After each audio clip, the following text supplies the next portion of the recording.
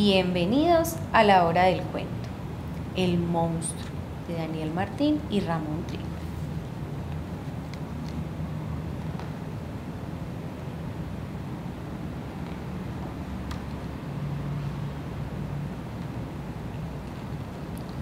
Yo me llamo Rosario y mi hermano se llama Carlos.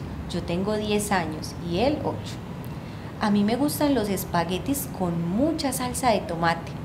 Me coloco uno bien largo entre los labios y me lo trago sin parar, como una aspiradora. A mi hermano lo que más le gusta es el bizcocho. Lo prefiere de chocolate con almendras molidas.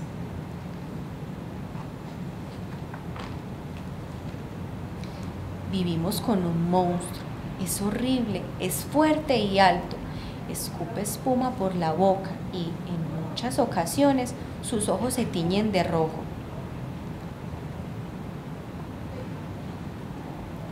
Cuando empezamos a ir al colegio, le llevamos un dibujo del monstruo a la maestra. Nos dijo que teníamos mucha imaginación y que si cerrábamos los ojos y nos quedábamos dormidos, seguro que se iría para siempre.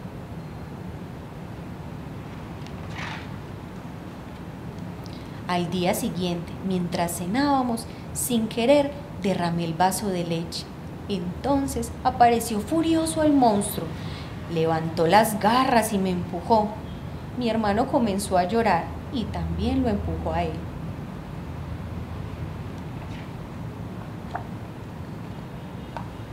Se lo contamos a mi abuela, que nos dijo, cuando aparezca de nuevo, lo que tenéis que hacer es cantarle esta retaíla. Bicho maloliente, ojos de dragón, garras de gusano, rugido de león, monstruo cara tonto, con pinta de matón. Esta noche te pedimos que duermas en el balcón. Seguro que cuando oiga esta canción se irá corriendo para siempre.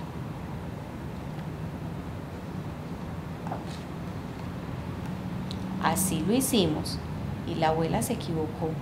Fue peor de lo que esperábamos. Después de cantar, los que dormimos en el balcón fuimos nosotros. Menos mal que estábamos los dos juntos. Esa noche dormimos abrazados.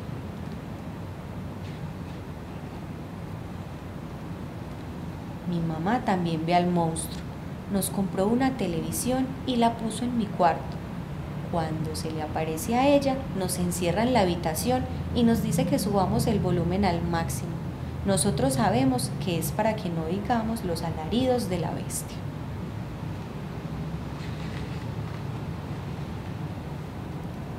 He contado a mucha gente lo del monstruo, mi hermano no. En las vacaciones de Navidad el monstruo apareció todos los días.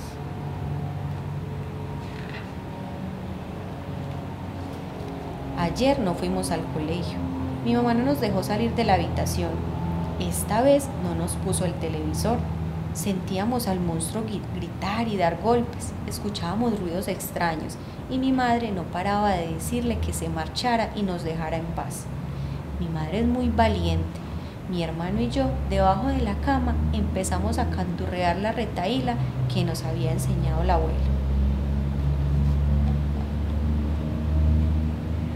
Y esta vez el monstruo sí nos hizo caso. Dejó de gritar y de dar golpes en las paredes y de echar espuma por la boca.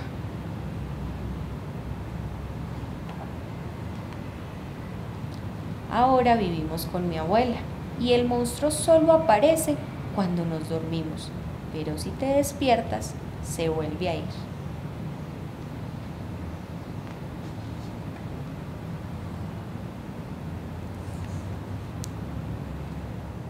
Familias, y bueno, esta es una historia que muchas veces la vamos a tener que explicar a nuestros niños y sobre todo estar muy pendiente de las cosas que ellos nos manifiestan.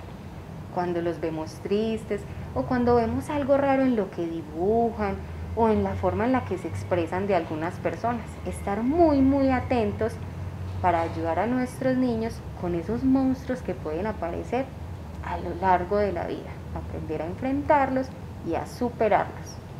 Chao. Hola a todos, estén muy pero muy preparados porque vamos a tenerles una sorpresa muy especial. Por esa razón, no se pueden perder mañana la hora del cuento. ¡Los esperamos! Sí. ¡Chao! ¡Hasta mañana!